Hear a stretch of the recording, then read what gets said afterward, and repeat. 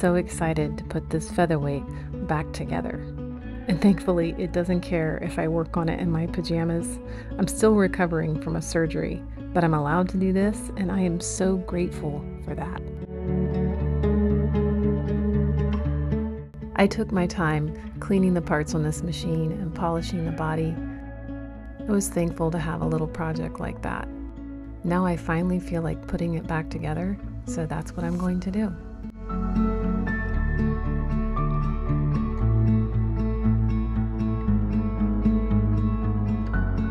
The rock shafts, the feed fork, and the feed connecting rod were the last parts to come off the machine, and they'll be the first ones to go back in.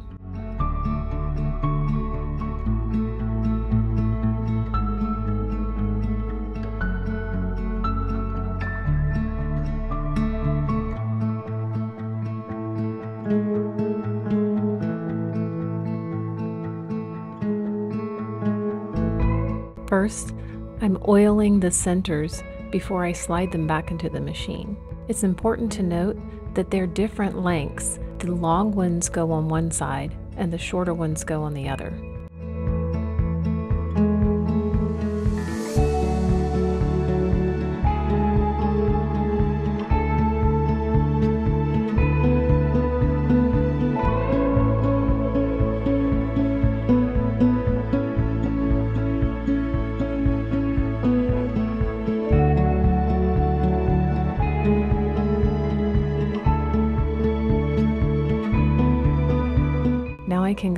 And put the rock shaft in. At this point, I'm just trying to get it in the machine. Then I'll have to adjust the centers so that the placement of the rock shaft and the feed rock shaft are correct.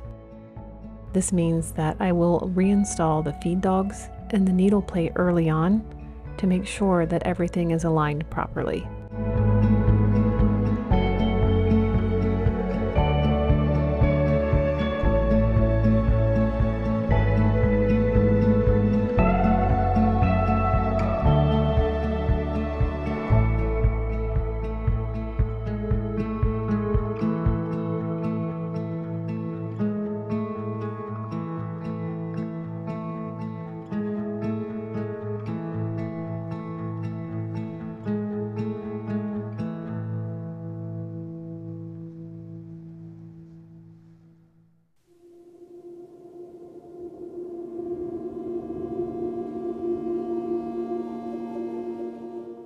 Before I put the set screws in for the centers, I check to make sure that the flat spots are where I can see them. I'm going to have to adjust these, but I do want to secure them for now.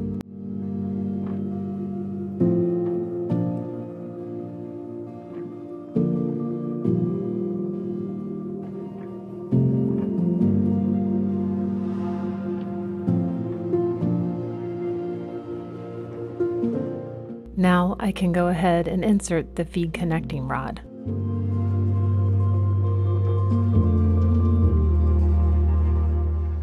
I'm not too concerned with the position of the eccentric screw just yet. I'll fix that once I start checking the placement of the feed dogs. I just want to make sure that it's in there securely for now. Next is the feed fork. And again, I'm not too worried about the placement of the eccentric screw just yet. I just want to get it connected.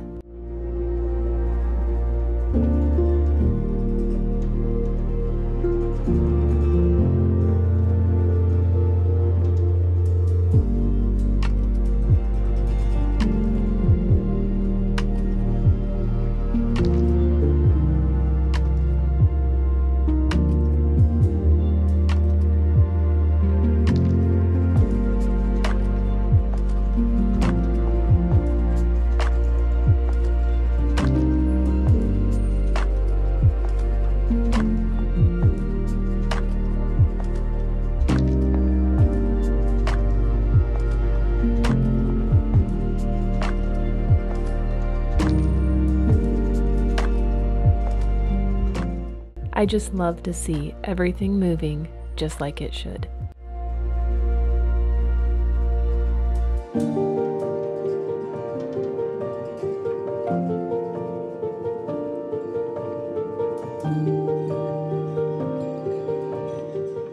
The feed regulator goes in next.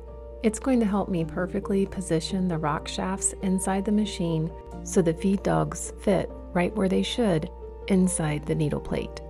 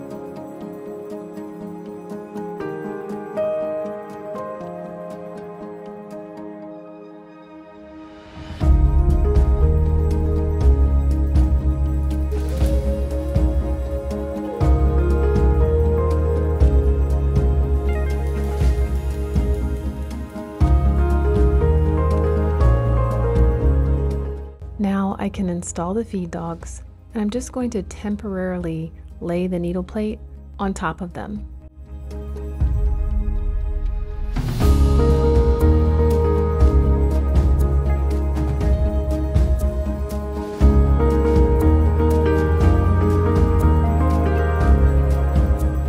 I'm turning the hand wheel and I'm feeling and watching to see if the needle plate bumps up and down as the feed dogs move under it. If I screwed down the needle plate, I would only be able to hear this, but this way I can actually see it happening. When I see that movement, I know that my feed dogs are not properly aligned. Now I will go in and loosen the set screws for the centers and do those final tiny adjustments so that the feed dogs fit properly inside the needle plate. To center the feed dogs side to side in the needle plate, that's done by adjusting the position of the centers. To adjust how they move lengthwise within the needle plate, that's done by adjusting the eccentric screw.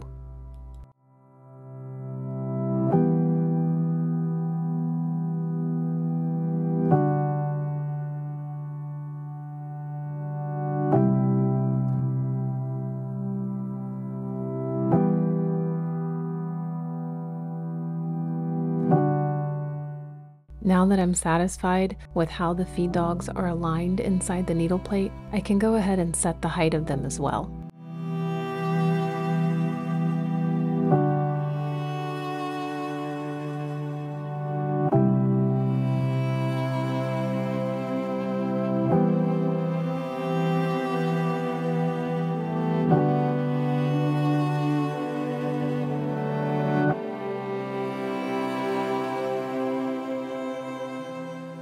This is the eccentric screw that sets the height of the feed dogs.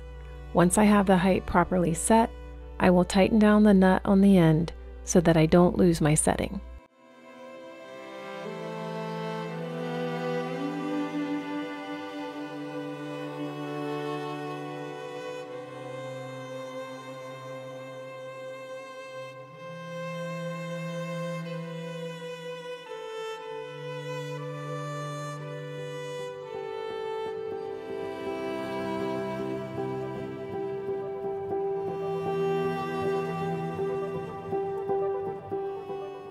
Now the bobbin winding parts can go back on. And later, I was pleased to find that the school bell style tension bracket works just as well as all the others.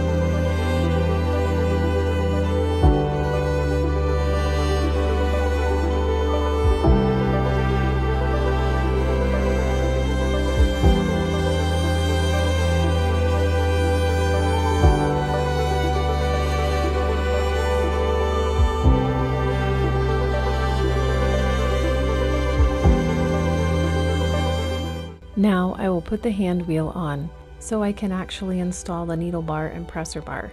I think it just makes it a little bit easier. I'll have to take it back off when I get the motor on the machine and I want to put the belt on.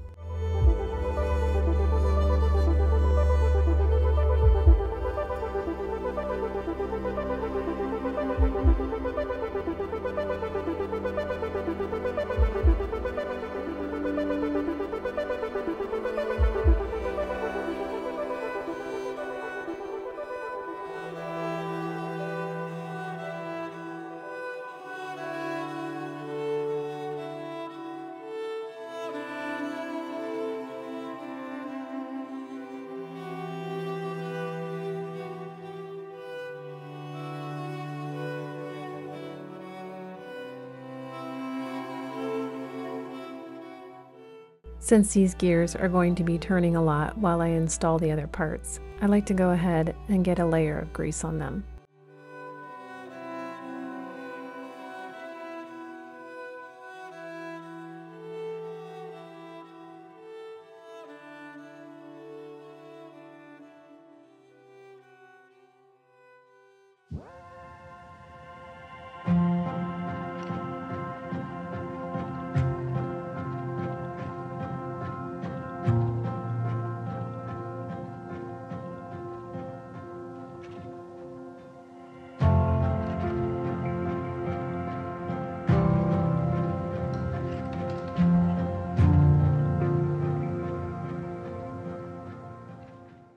Setting your machine up on the hand wheel is still the easiest way for me to install this screw on the thread take-up system.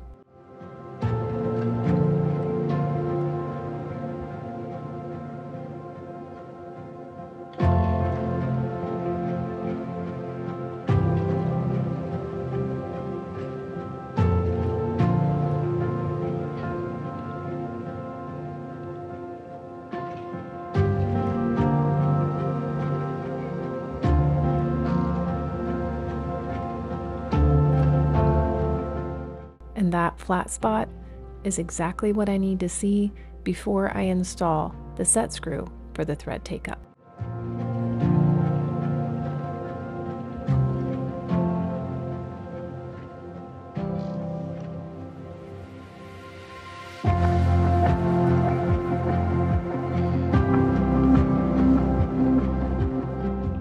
I made the decision to remove the presser bar lifter while I was cleaning the machine.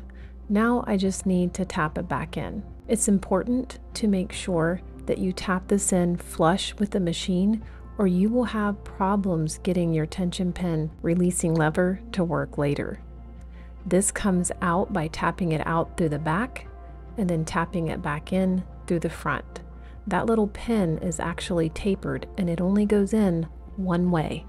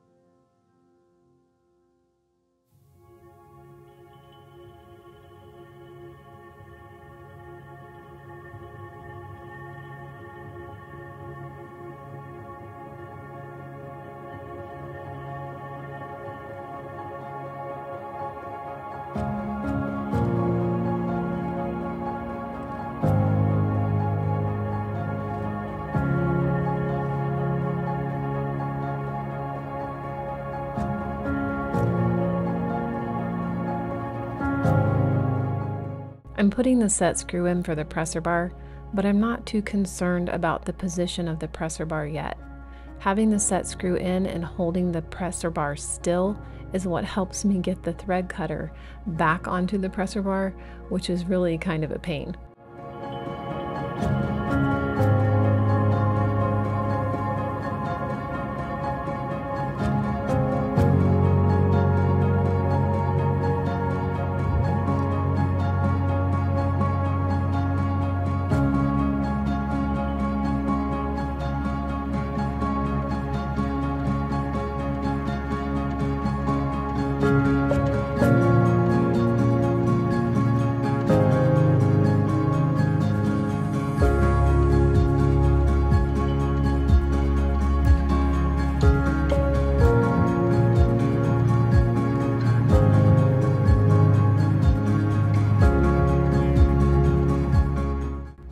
I can install the presser foot and set the height of the presser bar.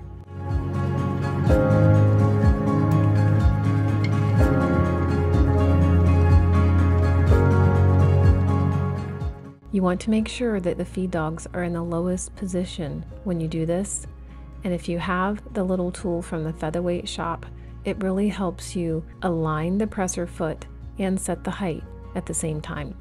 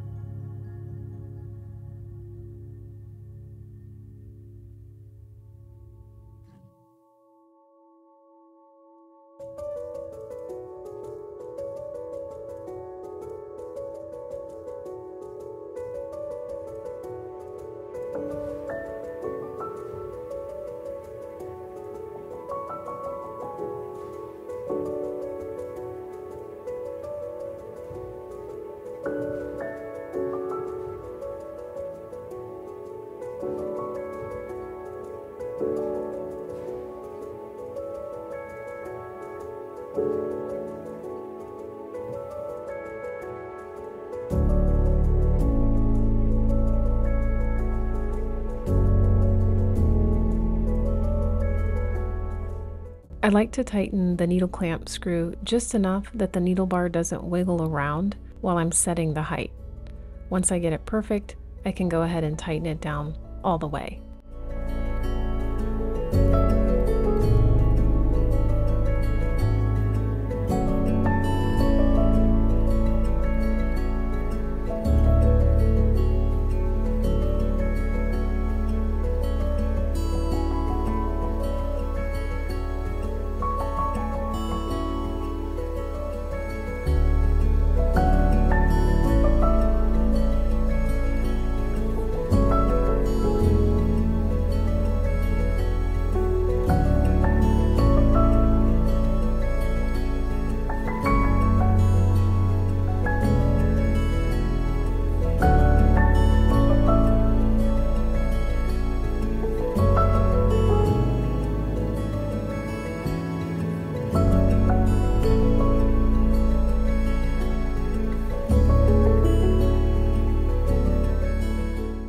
Now I will remove the needle plate.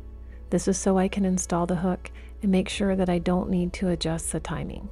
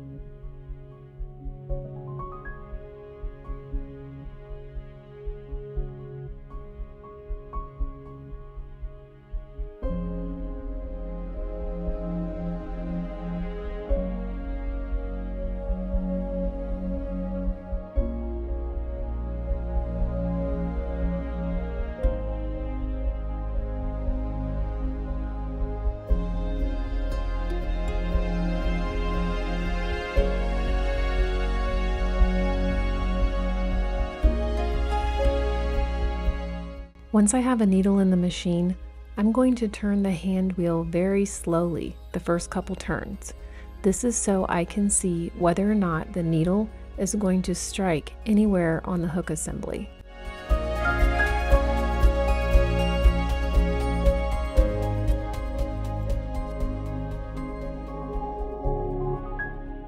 By watching the lower timing mark on the needle bar, I can tell the timing on this machine is perfect.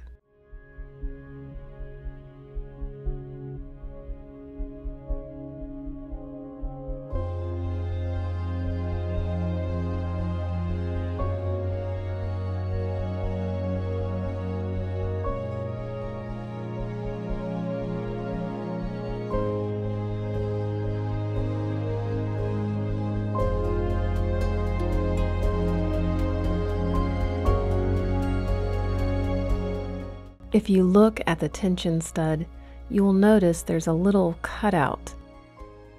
It needs to be positioned in the center at the top. Then the tail on the inside of the tension spring is going to slide right into that cutout.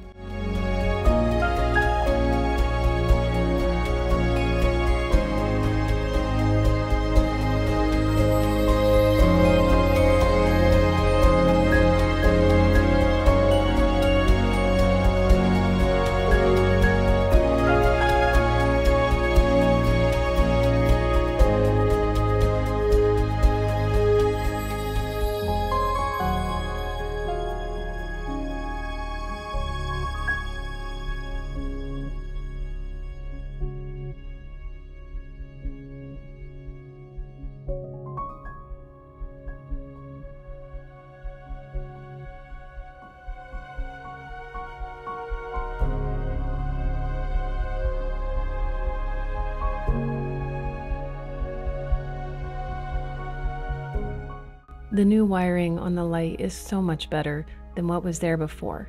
I am just really excited to reinstall the light, the switch, and the motor, and finally turn on the machine.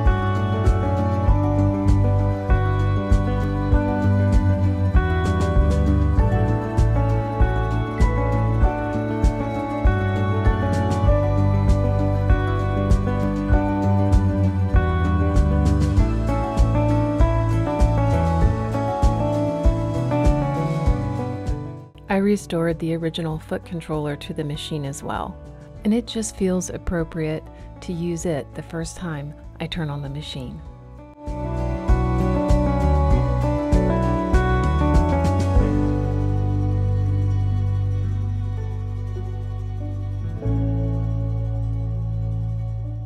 I am really happy to see this motor is working perfectly.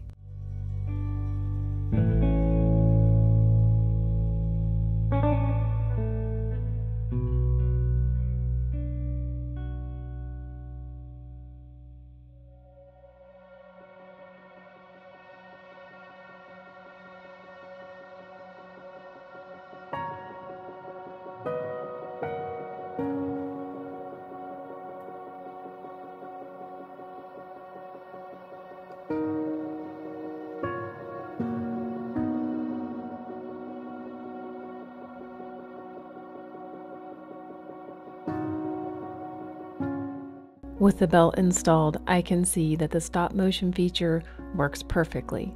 Now I'm ready to reinstall all the covers, wind a bobbin, and start sewing.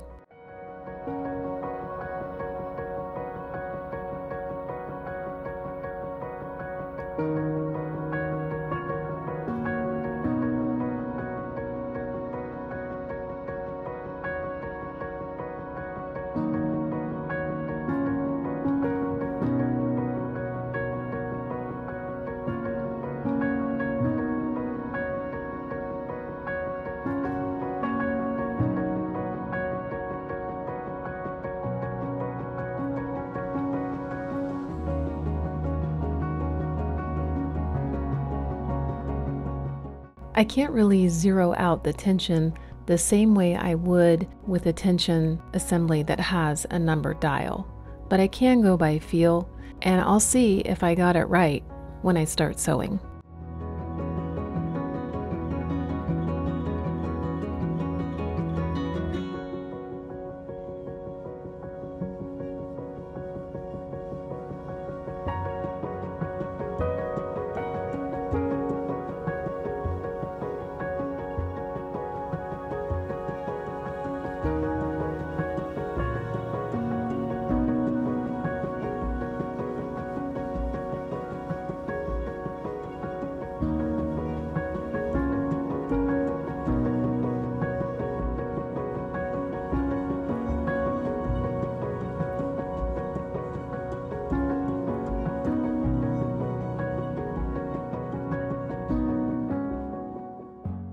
I'm watching as the needle goes down, the hook catches the thread, and it glides over the hook assembly, making a perfect lock stitch.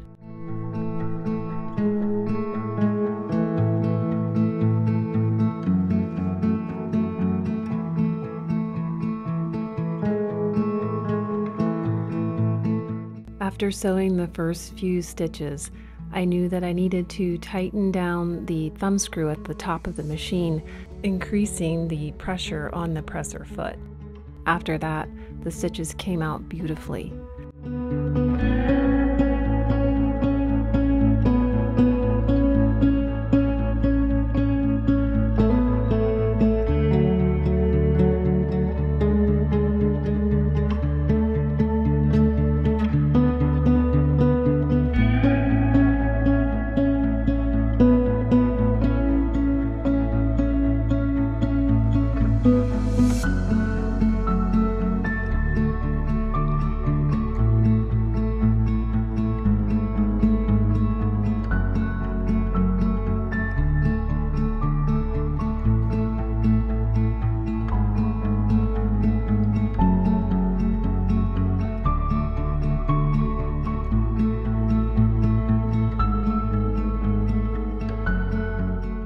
I just have a huge smile on my face right now. These stitches are beautiful. The tension was very easy to adjust, and it is working perfectly. Now I'm just going to make sure that I'm getting 6 stitches per inch at the longest stitch length.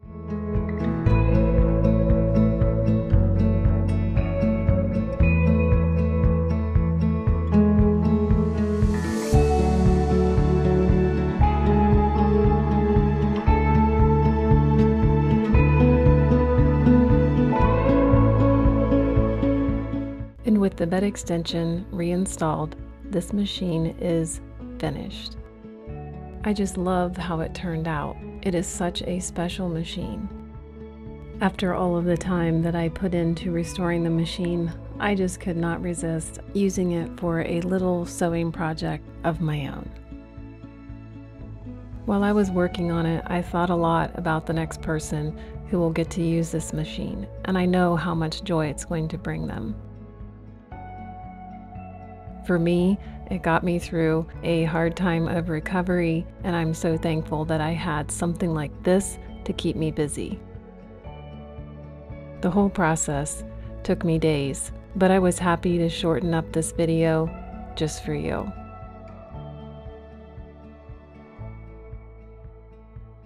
I hope you learned something. I hope you enjoyed following along, and I just want to thank you again for watching. I'll see you again really soon.